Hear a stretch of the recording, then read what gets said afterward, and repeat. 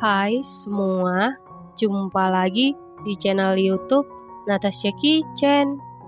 Di video kali ini, saya mau buat kue basah yang super mantul.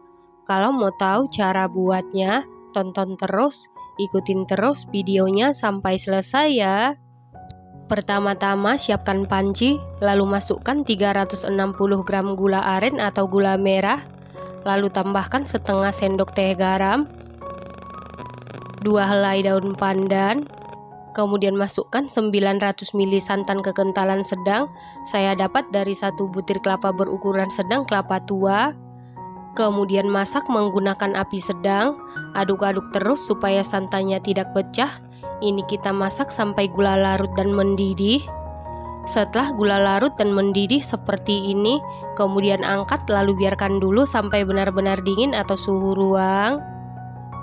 Selanjutnya siapkan wadah, lalu masukkan 240 gram tepung terigu protein sedang setara dengan 24 sendok makan, 180 gram tepung tapioka setara dengan 18 sendok makan, Kemudian masukkan larutan air gula merah yang sudah kita masak sebelumnya dengan cara disaring dan ini air gula merahnya sudah dalam keadaan dingin.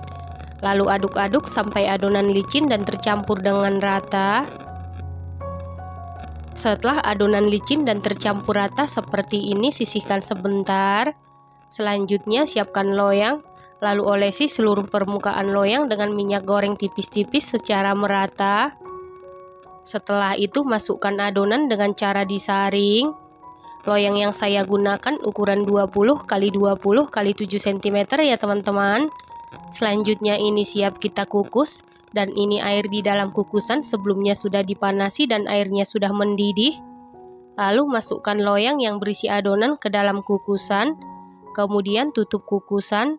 Kalau menggunakan tutup kukusan yang biasa, tutup kukusannya wajib dilapisi dengan kain bersih lalu kukus sekitar 40 menit menggunakan api sedang.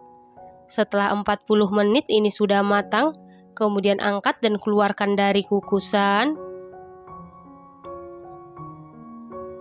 Lalu biarkan dulu sampai benar-benar dingin atau suhu ruang. Menunggu kuenya dingin, kita buat bahan baluran.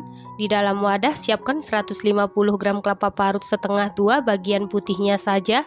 Lalu tambahkan seperempat sendok teh garam, Kemudian aduk-aduk sampai tercampur dengan rata. Setelah tercampur rata, masukkan satu helai daun pandan.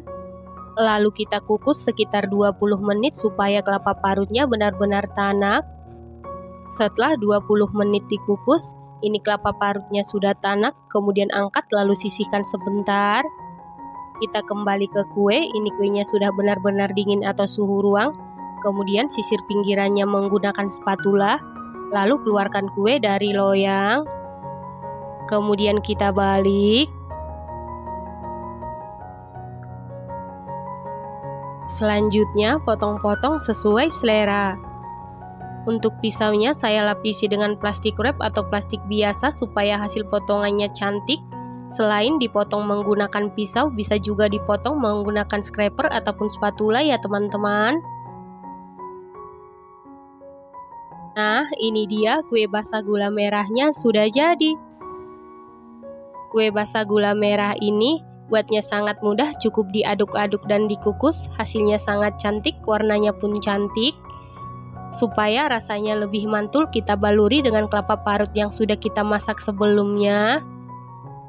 Kue basah ini buatnya sangat mudah, hasilnya cantik, rasanya dijamin super duper mantul, super duper juara, bikin nagih, gurih, manisnya pas, teksturnya sangat empuk, lembut banget, ini enak banget, recommended banget dan harus dicoba. Terima kasih karena sudah menonton. Jangan lupa share, like, komen, dan subscribe.